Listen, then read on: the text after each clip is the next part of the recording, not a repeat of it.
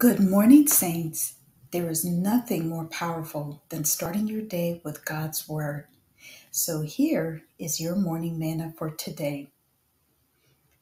Enter into his gates with thanksgiving and into his courts with praise. Be thankful unto him and bless his name. For the Lord is good, his mercy is everlasting and his truth endureth to all generations. Psalm 100, verses 4 through 5. And here is a beautiful daily goal Psalm 84 11. For the Lord God is a sun and shield. The Lord will give grace and glory. No good thing will he withhold from them that walk uprightly.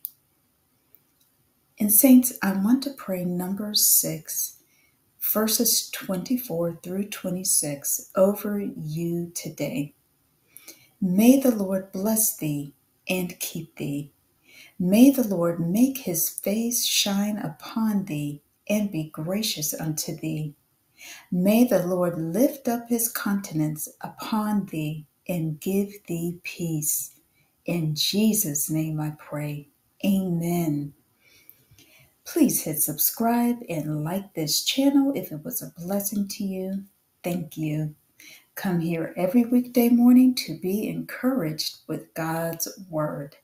Have a victorious day. God bless you.